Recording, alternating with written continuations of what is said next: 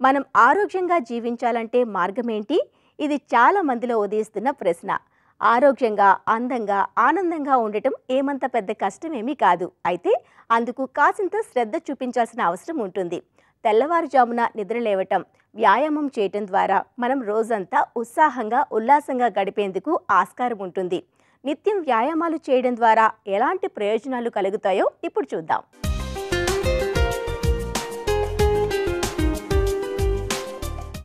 ఆరోగ్యమే మహాభాగ్యం అన్నారు మన పెద్దలు.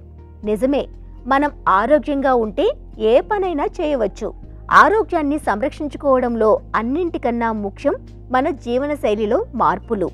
ఆహారం రూపంలో సరైన పోషకాలు శరీరానికి అందించినట్లయితే శరీరం దానంతట అదే మరమ్మత్తు చేసుకోవటం లేదా పునర్నిర్మించుకోవడం చేసుకుని తద్వారా ఆరోగ్యాన్ని మనకు అందిస్తుంది.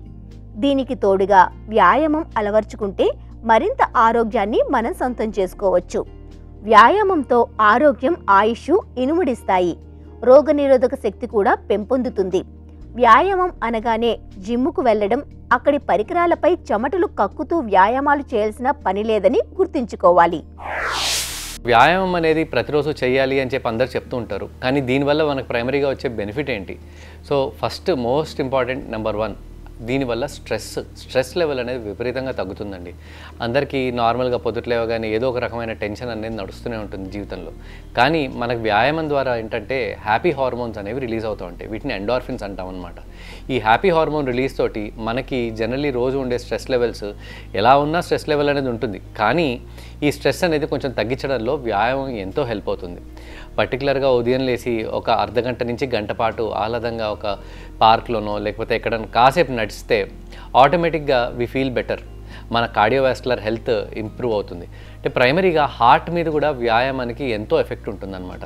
సో గుండె యవ్వనంగా ఉండడానికి లాంగ్ టర్మ్ లోపల మనకి గుండె ప్రాబ్లమ్స్ రాకుండా హార్ట్ అటాక్స్ రాకుండా మనని కాపాడాలి అంటే వ్యాయామమే నెంబర్ వన్.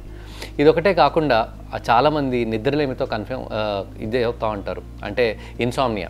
వారికి రాత్రిపూట నిద్ర రాదు రాత్రి అంతా లేసే ఉంటారు. ఇవన్నీ నడుస్తూ ఉంటాయి.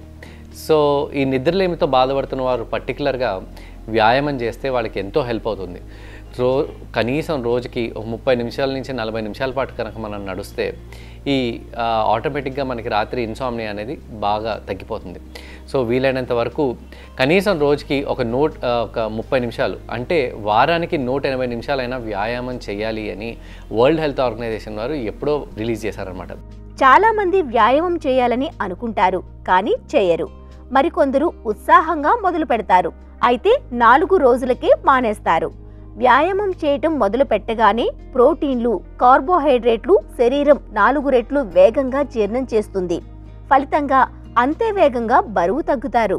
అయితే ఒకేసారి పెద్ద మొత్తంలో ఫలితాలు కనిపించాలని తొందరపడితే సమస్యలు తప్పవు. వ్యాయామాలను చిన్నగా మొదలుపెట్టి నెమ్మదిగా పెంచుకుంటూ పోవాలి. అప్పుడే శరీరం వాటిని తట్టుకునే శక్తిని సంపాదించుకుంటుంది. రోజుకు అరగంట చొప్పున వారానికి నూట యాభై నిమిషాల వ్యాయామం చేయాలని మార్గదర్శకాలు సూచిస్తున్నాయి. శరీరం సామర్థ్యాన్ని పట్టించుకోకుండా అతిగా వ్యాయామాలు చేయటం ద్వారా అనర్థానికి దారితీస్తుందని మర్చిపోవద్దంటున్నారు నిపుణులు. మనకి ప్రైమరీగా ఇంకొకటి మెంటల్ హెల్త్. మెంటల్ హెల్త్ మీద ఎంతో ఎఫెక్ట్ చూపిస్తుంది వ్యాయామం. పర్టికులర్గా డిప్రెషన్లోంచి కానీ లేదంటే కొన్ని మానసిక ప్రాబ్లమ్స్లోంచి కానీ ఎవరైతే వెళ్తున్నారో వాళ్ళల్లో ఈ ఎక్సర్సైజ్ చేయడం వల్ల మల్టిపుల్ ఎఫెక్ట్స్ ఉంటాయి. ఒక ఒక అదొకటే కాకుండా యూ ఫీల్ కాన్ఫిడెంట్ అంటే మనకి మనకి మనమే మంచిగా అనిపించడం బెటర్గా ఉండడం ఆ తర్వాత ఏదైనా పని చేయాలన్నా కూడా ఆ కాన్ఫిడెన్స్ ఉండడం ఇవన్నీ మనకి వ్యాయామం ద్వారా చేకూరుతూ ఉంటాయి. ఇదొకటే కాకుండా మన లంగ్ హెల్త్ పర్టికులర్గా రెస్పిరేటరీ హెల్త్ కూడా చాలా ఇంప్రూవ్ అవుతుంది.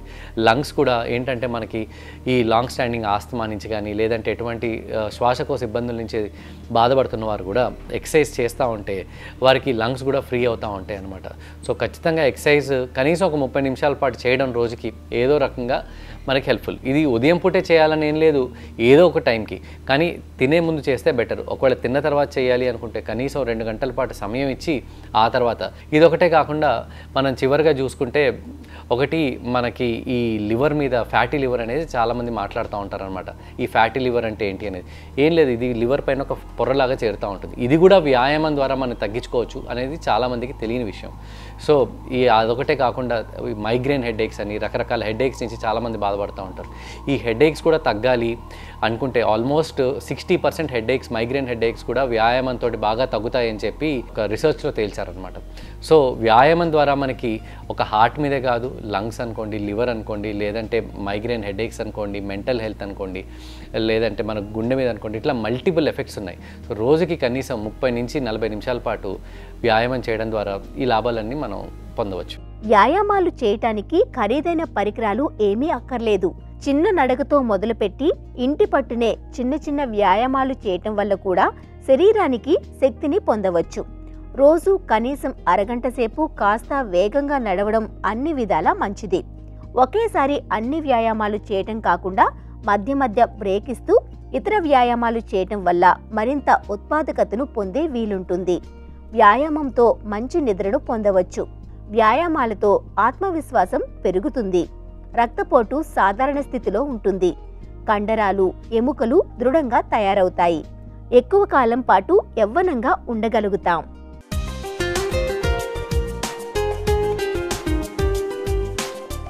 ఆరోగ్యానికి ఆహారమే పునాది. చాలా జబ్బులకు గతి తప్పిన ఆహారాలే కారణం.